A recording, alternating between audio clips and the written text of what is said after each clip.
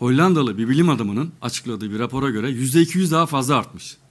Şimdi maça göre haftasına göre 8-10 tane antrenmana çıkmak zorunda dolu dolu ki maç temposunun ritmini yakalayabilmesi için.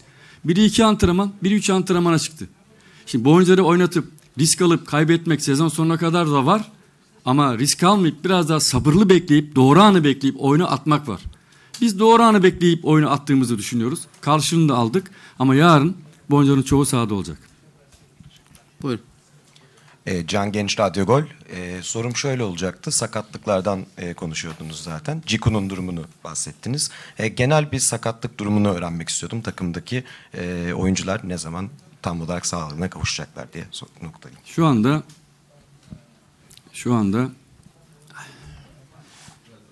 yüzde 98 takımdaki bütün oyuncuların düzeldi. Bir tek Mert Hakan var. O da 2-3 gün sonra normal takım antrenmanlarına başlıyor. Bu sakatlıklar konusunda biraz size şöyle bir şeyler söylemek istiyorum. Tadiş ne yedi?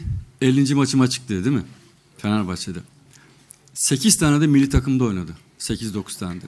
Yani 58, 59, 60 maça yakın maç oynadı. Avrupa'nın birçok kulüplerine baktığınız zaman mesela Liverpool, United, Bayern Münih açın bakın geriye dönük. İnternet sayfalarından bunları çok net görebilirsiniz. Yani ben sizi bilgilendirmek amacıyla söylüyorum bunu. Bu kadar yüksek maç oynayan futbol takımları maalesef günümüz futbolunun en büyük hastalığı bu. Futbol adamlarının Avrupa'daki büyük futbol adamlarının bundan da yakınışları var. Serzenişleri var.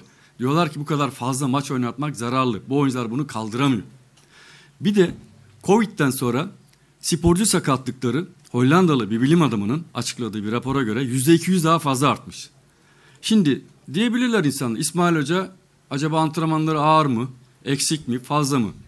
E tamam ben böyleysem o zaman Liverpool, United, Bayern Münih onlar ne olacak o zaman? Onların cevabını kim verecek? Anlatabiliyor muyum? Bu sadece bu sene değil. Her yıl. Her yıl Avrupa'da açın bakın internet sayfalarını. Kaç oyuncu sakatlanmış? Kaç tane oyuncuları tedavi altında? Değil mi? Onun için bu kadar maç oynamak, bu yüksek e, tempolu, yüksek tirajlı milli takımda gitgeller var, seyahatler var, uzun yolculuklar var. Bunlar kolay şeyler değil arkadaşlar. Hakikaten değil. Yani bu ayrı bir ayrı bir konu. Ama maalesef sadece ben değil, bütün Avrupa'nın, dünyanın en büyük kulüplerin teknik direktörleri, futbol adamları bundan hepimiz müzdaribiz. Bu kadar fazla maç oynanması, bu kadar oyuncular bunları kaldıramıyor maalesef.